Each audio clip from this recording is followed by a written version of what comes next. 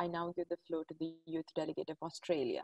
Thank you for the floor, and thank you to the Third Committee for this debate, and to the Australian Government for the opportunity and privilege to speak on behalf of the young people of Australia. I would first like to acknowledge the traditional custodians of the land on which I make this speech today, the Whadjuk Noongar people. This land was stolen and never ceded, and I pay my respects to elders past, present, and emerging, and any First Nations people who may be present here today. We are meeting today to discuss how we can best further the Youth 2030 strategy.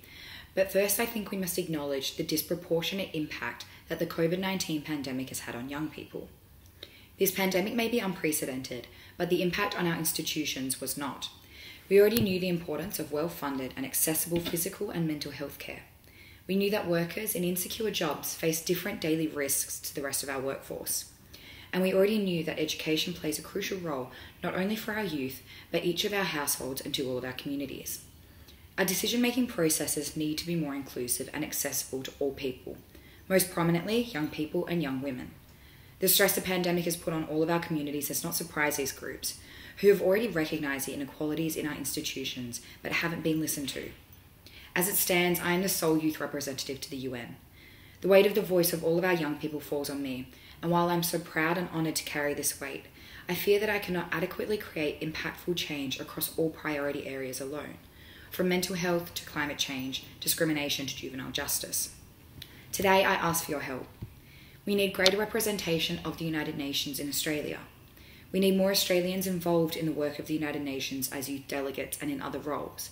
But most importantly, we need more young people involved in all aspects of policy and decision making in Australia to accurately and fairly represent our nation on the global stage.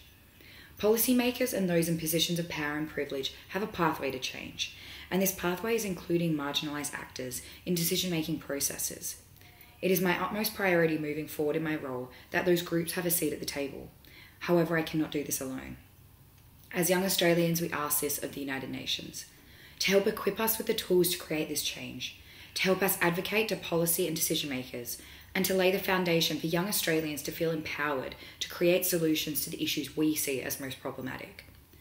Despite the immense challenges we face, young people today represent the most passionate and motivated generation we have ever seen, and we will continue to forge change to create fairer policies and practices for a brighter future in Australia and throughout the world. Thank you.